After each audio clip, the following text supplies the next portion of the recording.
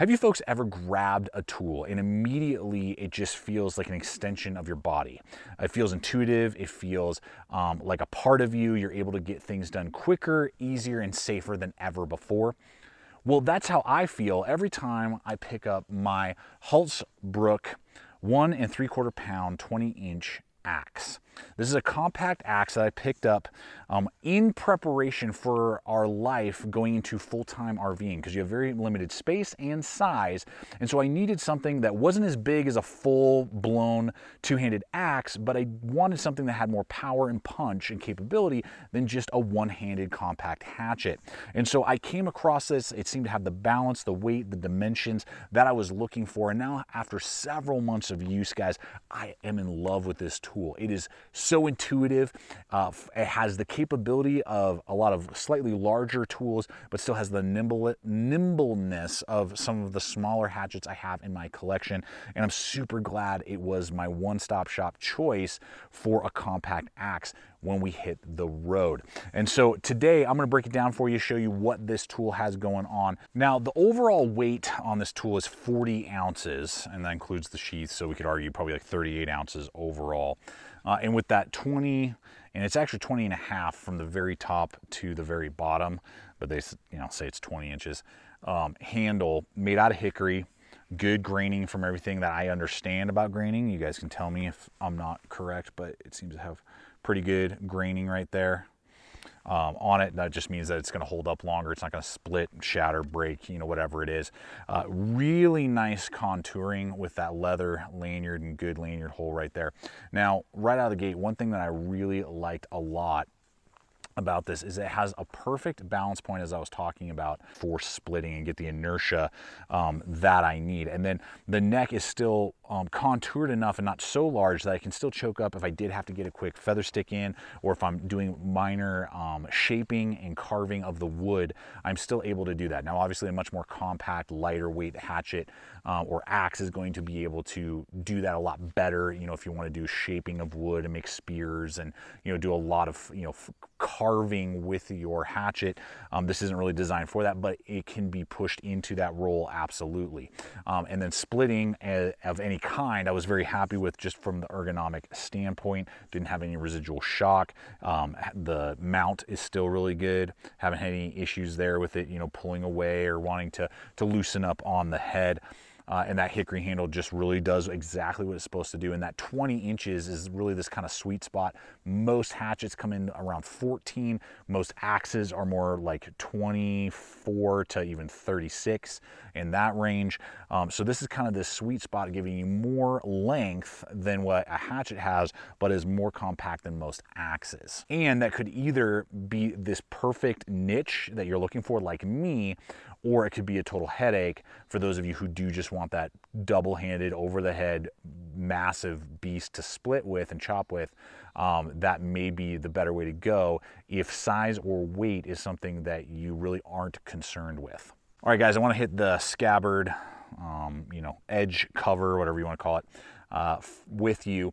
We got this really nice leather, um, you know, metal bolsters, leather loop on there really covers the face well. It's easy to put on. It's not overly bulky. Now, you're not gonna be able to carry it on your belt. I would argue this is pushing belt carry. Now you can buy some, you know, aftermarket loops and things like that to run the uh, axe or large hatchet, whatever you want to call it, through. Um, but that works really well. I've never had it accidentally fall off on me and is really high quality. I'm very happy with that. And I'm just glad it comes with it. You'd be surprised how many axes and hatchets do not come with a scabbard of any kind. And you either have to buy it on top of the tool itself, and so that's going to charge you more money, um, or you just have to go total custom and try and figure it out and find you know one online that maybe somebody made and you know or do kydex or something like that. So it's just nice that this comes with a good scabbard that does exactly what it's supposed to do. You got that leather, and it's good and high quality, and it works. But guys, before we go any further in this video, I want to give a big shout out to today's sponsor, which is Health Code Complete Meal Shakes. Now guys, I've been telling you about Health Code here for months now because I've seen the results week after week, month after month now in my own life and with my family, with my wife. Using these complete meal shakes is an awesome, option and they're going to be a lot healthier and give you a lot more nutrients and things that your body needs, particularly when you're exerting yourself. And what's uh, awesome about these is that you're not only going to be getting non-GMO, uh, gluten-free, no soy, no added sugars, no added sweeteners, no artificial ingredients. It's keto friendly. And with the 27 grams of protein and the 27 grams of healthy fats and 400 calories, it's going to give you a lot more than just trying to survive and sustain yourself on a bunch of energy bars on the trail. Guys, we are going to have a promo code for 15% off your purchase with Eat with GT. So I invite you guys go check out that hyperlink, use that promo code. Not only lets them know that we sent you, but it'll give you a good deal on some amazing meal replacement shakes that really keep you going. And so with that, folks, let's go ahead and get back to it. All right, let's jump right into the head. And uh, I'm hanging out at a campground in Moab, Utah.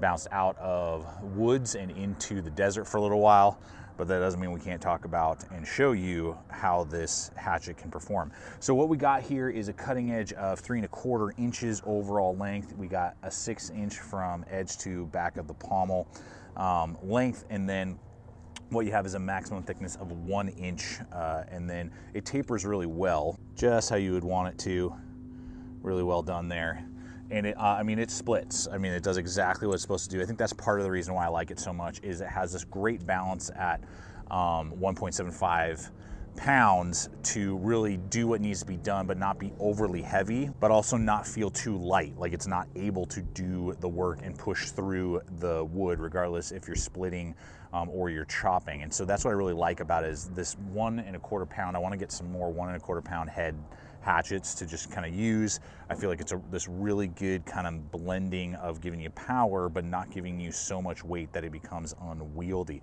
The edge is holding well. The edge geometry was great. Um, you know, and that high carbon steel uh, works well. It's going to be very easy to resharpen. I've tuned it up a few times without issue whatsoever.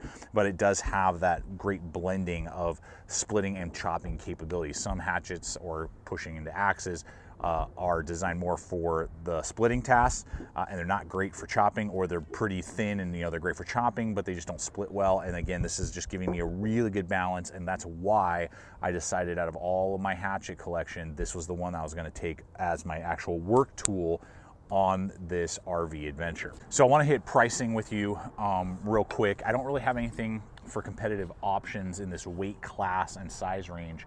Uh, so I don't have competitive options for us today. But uh, if you're interested in this tool, it's kind of, um, you know, just with everything going on in the world today, distributing, uh, distributors are having a hard time getting their hands on certain tools. Uh, and so I, this is a little tricky to find right now. I believe I paid about $110 for it over on GP Knives. Uh, I will have links for you guys in the description box below. Uh, and I know Blade HQ carries it. I believe DLT Trading, I think I saw it in stock when I made this video for about 100. So between like 110, 120 bucks uh, is what you're going to pay on average. Let's say 100 to 120, let's say anywhere in there. And for the materials, the quality control, fit and finish, everything that I'm seeing, that's not only very competitive uh, with other models and brands and you know things that are out there. And so I feel like I've definitely gotten my money's worth out of the tool so far, and it's holding up great. Well, guys, there you have it. Thanks so much for joining me today. I hope this video has been fun and entertaining, but also just giving you the information. That's what I always want to do in these type of videos, give you info, give you data, so that you can make a wise choice and go, dude, that's what I'm looking for. Uh, you know what? I actually think I need to go with the bigger model, or this seems too large and heavy and cumbersome for me. I need to dial it back. But for me, guys, just, oh, it's so feels so good and I love I love what it's been able to do for me so far on the road and uh, when I bust it out I know I'm gonna get a lot of work done and I feel like uh, it's something that not only I can pass on to my boys but also uh, it, I'm able to beat on it, use it, and it gets the job done every time. So uh, thanks so much for coming over today. I invite you to check out the other video popping up. Subscribe if you're not yet a subscriber. We throw up content like this every single week. And until next time, always remember, stay equipped, stay prepared, and we'll see you out there.